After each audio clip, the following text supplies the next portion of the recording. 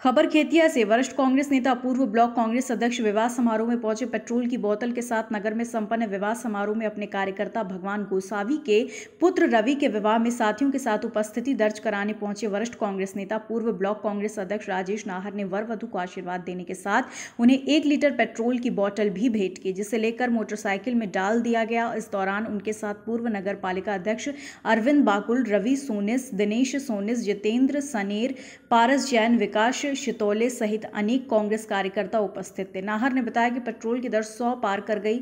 भेंट देने का रिवाज है। ऐसे में वर वधु को आशीर्वाद के साथ एक लीटर पेट्रोल भेंट किया गया। पेट्रोल की दरें बढ़ने से सामान्य मजदूर पेशे के लोगों के लिए बहुत अधिक परेशानी बढ़ रही है। साथ ही कार्यकर्ता के पुत्र के विवाह में आया हूँ। मेरी शुभकामनाएँ और उसे एक लीटर पेट्रोल आज भेंट किया है।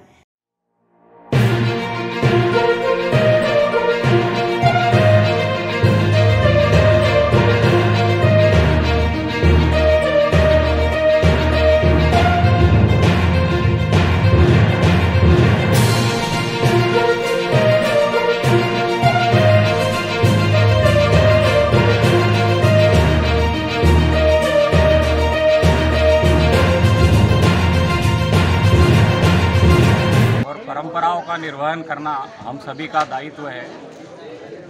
पेट्रोल के दाम लगातार बढ़ते जा रहे हैं और अब पेट्रोल एक सौ एक रुपये से ऊपर पहुँच गया है। मैं अपने साथी कार्यकर्ता के पुत्र के विवाह में यहाँ उपस्थित हुआ हूँ। क्योंकि हमारे यहाँ भेंट देने का रिवाज है, इसके लिए मैंने अपनी तरफ़ से एक लीटर पेट्रोल भी उनको भेंट किया है।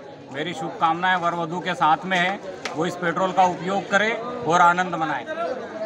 धन्यवाद। खबर भारतवर्ष के लिए खेतिया बड़वानी से हर्षल जैन की रिपोर्ट। अपने शहर, अपने प्रदेश की ताज़ा खबरों के लिए लाइक करें, शेयर करें, सब्सक्राइब करें। और हाँ बेल आइकन दबाना ना भूलें, क्योंकि खबर हमारी फैसला जनतंत्र का।